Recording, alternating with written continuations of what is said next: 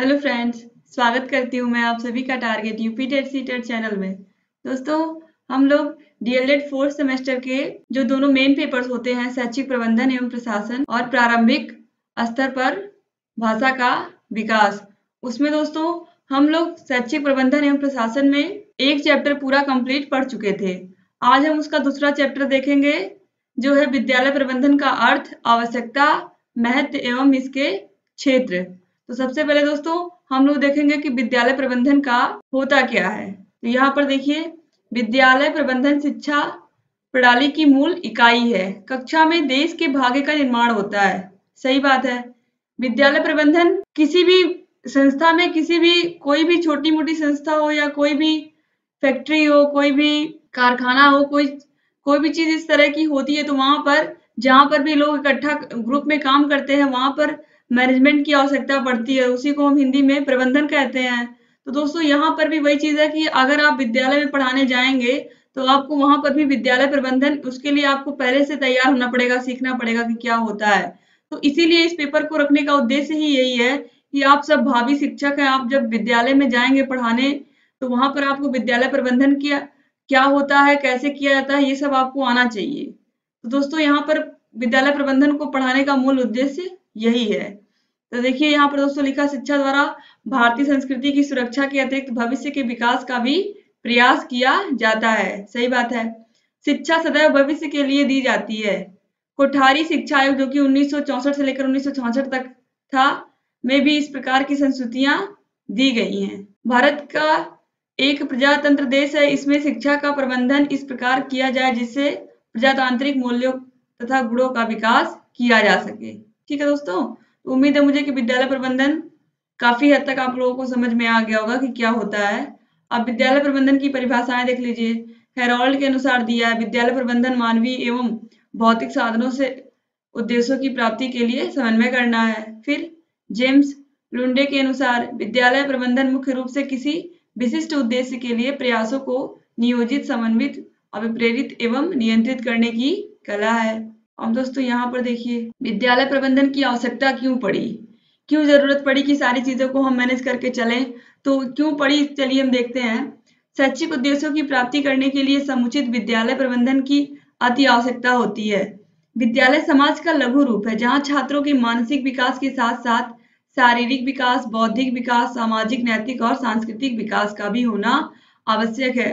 यानी कि छात्र सिर्फ़ और सिर्फ़ पढ़ने नहीं आते हैं स्कूल में, बल्कि यहाँ पर छात्रों का सामाजिक विकास, बौद्धिक विकास, शारीरिक विकास और सांस्कृतिक और सांस्कृतिक विकास भी होता है।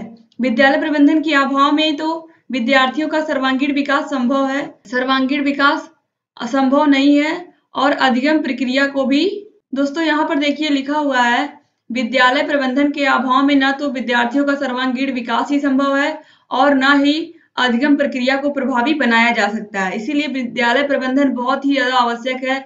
बच्चों के शारीरिक, मानसिक, बौद्धिक, सामाजिक, नैतिक और सांस्कृतिक विकास के लिए, क्योंकि बच्चों का जो सर्वांगीण विकास होता है, वह कहीं ना कहीं विद्यालय में ही होता है। तो इसलिए विद्यालय में प्रबंधन की आवश्यकता होती ही है। अब यहाँ पर देखिए, विद्यालय प्रबंधन का क्या महत्व है? विद्यालय प्रबंधन, आज के समय विद्यालय प्रबंधन की समस्या अधिक व्यापक व जटिल हो गई है, क्योंकि आज विद्यार्थियों की संख्या में निरंतर वृद्धि हो रही है। इसलिए विद्यालय के कार्यक्षेत्र का विस्तार हो रहा है। नई नई विधियाँ, प्रवृत्तियों तथा मनोवैज्ञानिक सिद्धांतों का पाठ्यक्रम तथा पाठ्य सामग्री में स्थान दिया जा रहा है। यानी कि अब क्या हो रहा है? शिक्षा में प्रयोग हो रहे हैं। बहुत सारी विधियों से पढ़ाया जा रहा है। बच्चों को प्रोजेक्टर प्रोजेक्टर से अब हर एक, लगभग हर स्कूल में पढ़ाया जा रहा है बच्चों को। तो ये सब क्या दोस्तों? ये सब नवाचार शिक्षा, शिक्षण पद्धति है। जिससे बच्चों के ज्ञान में क्या हो रहा है? निरंतर वृद्धि हो रही है। विद्यालय प्रबंधन का प्रमुख उद्देश्य शिक्षण अधिगम प्रक्रिया को सरल रुचिकर तथा प्रभावी एवं दक्षता पूर्ण बनाना, यानी कि बच्चों को इस तरह से सिखाना है कि वह किसी चीज़ में दक्ष हो सके, किसी चीज़ में वह सीख सके, किसी चीज़ को अच्छे से, जिससे वह आगे अपना भविष्य सुरक्षित कर सके, जिससे छात्रों का अधिगम स्तर उच्च बनाया जा सके। विद्यालय प्रबंधन का प्रमुख उद्देश्य उपलब्ध, भौतिक तथा मानवीय साधनों का उचित प्रबंधन करना होता है, जिससे राष्ट्र के भावी नागरिकों का निर्माण हो सके। मुझे दोस्तों आप लोग को समझ में आ रहा होगा कि ये नोट्स मैंने बनाए हैं, वो सब आपके काम के ही हैं। अब यहाँ पर देखिए, एक प्रभावशाली विद्यालय प्रबंधक की विशेषताएँ।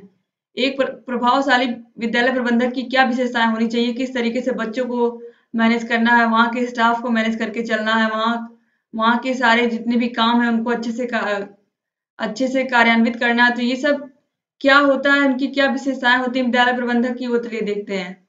विद्यालय प्रबंधन में लचीलापन, विद्यालय प्रबंधन की व्यवहारिकता, यानी कि व्यवहार में होना चाहिए। विद्यालय प्रबंधन का प्रारूप समाज, राष्ट्र और राजनीति दर्शन के अनुरूप होना चाहिए। विद्यालय प्रबंधन की सक्षमता, अपेक्षित उद्देश्यों की सफल प्राप्ति, यानी कि जिस लिए हमने विद्यालय प्रबंधन किया है, उस उस उद्देश्य की प्राप्ति हो रही है कि नहीं। अब विद्यालय प्रबंधन के क्या क्या उद्देश्य हैं दोस्तों? यहाँ पर वो भी देख लीजिए आप। भविष्य में शिक्षा का संचालन करना होता है, सामाजिक परिवर्तनों का प्रबंधन करना होता है, अनुभवों द्वारा छात्रों का विकास करना होता है, विज्ञान प्रचार करना, चरित्र का निर्माण करना, तकनीकी विकास को अपनाना, राष्ट्रीय एकता की अनुभूति कराना, अंतरराष्ट्रीय सद्भावना तथा मानव मूल्यों का विकास करना। अब दोस्तों यहाँ पर देखिए, यहाँ पर दोस्तों देखने से पहले मैं आप लोगों को बता दूँ कि इस पूरे नोट्स की पीडीएफ आपको डिस्क्रिप्शन बॉक्स में मिल जाएगी। वहाँ से आप उसको पूरा डाउनलोड कर सकते हैं और चाहे तो आप भी नोट्स बना सकते हैं। ठीक है दोस्तों? विद्यालय प्रबंधन के सिद्धांत और विद्यालय प्रबंधन के क्षेत्र, चलिए देख लेते हैं। विद्यालय का, सबसे पहले विद्यालय प्रबंधन के सिद्धांत, शिक्षा का प्रजातांत्रिक दर्शन होना, योग्यता एवं क्षमताओं के विकास की स्वतंत्रता होना, शिक्षा की प्रक्रिया छात्र केंद्रित होना, ये सबसे बड़ी चीज़ है दोस्तों। आज की जो शिक्षा व्यवस्था है, उसमें छात्र को केंद्र में रखकर शिक्षा दी जाती है। ये पॉइंट बहुत इंपॉर्टेंट है। लचीला पर अनुकूलन तथा स्थायित्व होना, विद्यालय प्रबंधन के उद्देश्य केंद्रित होना। दोस्तों, क्योंकि आपका जो दीर्घ उत्तरीय क्वेश्चन आते हैं, वो लंबे लंबे आते हैं और वो इसी से आते हैं। इसीलिए इसको पढ़ाने का मेरा उद्देश्य यही है कि आप लोग इसको अगर एक बार पढ़ के जाए रहेंगे तो आप दीर्घ उत्तरीय क्वेश्चन के आंसर आसानी से दे सकेंगे। विद्यालय प्रबंधन का क्षेत्र का सही अर्थ, शिक्षा प्रबंधन का विस्तार तथा कार्य क्षेत्र जहाँ पर शिक्षण अधिगम का संपादन किया जाता है। विद्यालय प्रबंधन के क्षेत्र का अध्ययन चार घटकों में किया जाता है। शिक्षा के विकास का लक्ष्य नियोजन के कार्यक्रम, कार्यक्रमों की व्यवस्था करना, प्रबंधन के कार्यों का आकलन करना। ठीक है दोस्तों तो इस तरीके से आज हमने विद्यालय प्रबंधन का अर्थ और उसका महत्व टॉपिक के बारे में पूरा अध्ययन कर लिया। तो दोस्तों, उम्मीद है मुझे कि आप लोग को ये अच्छा लगा होगा। दोस्तों हम लोग डीएलएड फोर्थ सेमेस्टर के सारे पेपर्स का पूरा पीडीएफ आप लोगों को दे रहे हैं। आपको बस केवल डिस्क्रिप्शन बॉक्स में जाके वहाँ से लिंक पर क्लिक करके आपको उसको वहाँ से डाउनलोड कर लेना है। दोस्तों, उम्मीद है मुझे कि आप लोगों को ये दीर्घ उत्तरीय क्वेश्चंस करने में अब एग्ज़ाम में कोई दिक्कत नहीं होगी। और दोस्तों, अगर चैनल अच्छा लग रहा हो, अगर वीडियोस पसंद आ रहे हो तो प्लीज़ वीडियो को लाइक करिए और इन सबको अपने फ्रेंड्स के साथ भी शेयर करिए ताकि सभी लोगों को एग्ज़ाम में डीएलएड एग्ज़ाम में भी अच्छे मार्क्स आए और यूपीटेट और सीटेट के एग्ज़ाम में भी अच्छे मार्क्स आए क्योंकि यूपीटेट और सीटेट के भी सारे सब्जेक्ट के नोट्स हम लोग प्रोवाइड करा रहे हैं अच्छे से, सारे टॉपिक को समझा भी रहे हैं। तो दोस्तों प्लीज़ आप लोग वैसे ही चैनल के साथ बने रहिए और चैनल को प्लीज़ सब्सक्राइब कर लीजिए और बेल आइकन को भी प्रेस कर दीजिए ताकि हम कोई वीडियो बनाए तो आप लोगों तक उसका नोटिफिकेशन जल्दी से पहुँच जाए। वीडियो देखने के लिए बहुत बहुत धन्यवाद दोस्तों। जय हिंद।